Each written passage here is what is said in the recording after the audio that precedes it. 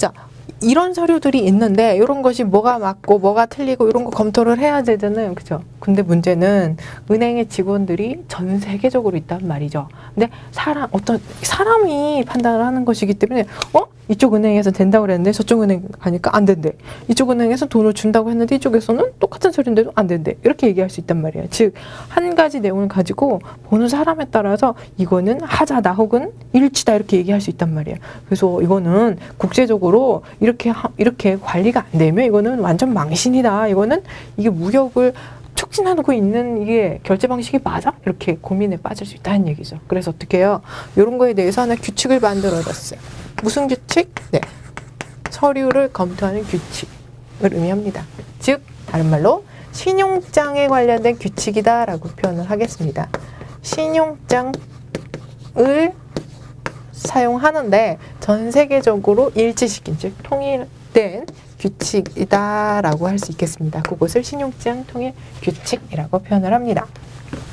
다른 말로 UCP라고 합니다. 따다단 드디어 UCP가 나왔습니다. 우리 아, 지난 시간에 UCP 뭐 이런 게 있다 이렇게 잠깐 말씀드렸죠? 이제 드디어 나오는 것이에요.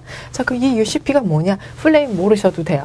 Uniform Customs and Practice. 네, 그러니까 뭐냐? 신용장을 다루는데 통일된 customs 관습 그리고 practice 관행을 의미한다. 신용장에서 서류 검토할 때 규칙을 의미해요. 자, 그런데 이 내용이 이 내용이요. 자, 되게 많은 내용들이 있지만 요거는 아주 중요한 내용만 다루고 있습니다. 중요한 내용만 다루고 있다.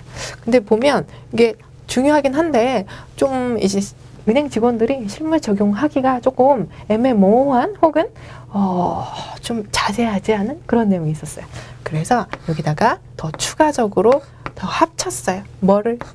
세부적인 내용을. 그거를 ISBP라고 해요. 자, 그래서 결론.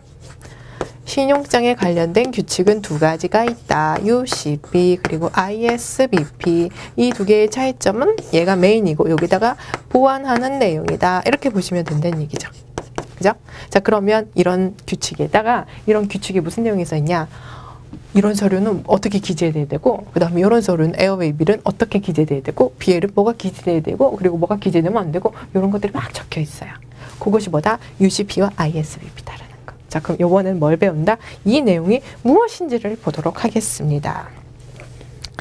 아, 자, 그리고 여기에서 이제 번호 말씀 하나 드릴 건데 뭐냐면 UCP는요, 어, 계속 업데이트가 되고 있고요. 현재 사용하고 있는 것은 UCP 600이라고 표현을 하고요. 그리고 현재 사용하고 있는 ISBP는 745 버전을 사용한다. 요거까지 좀 말씀드릴게요. 자, 그럼 이런 것만 보면, 아, 우리가 지금까지 배웠던 것처럼 신용장은 이 LC는 진짜 서류가 중요하구나. 왜? 서류를 줌으로써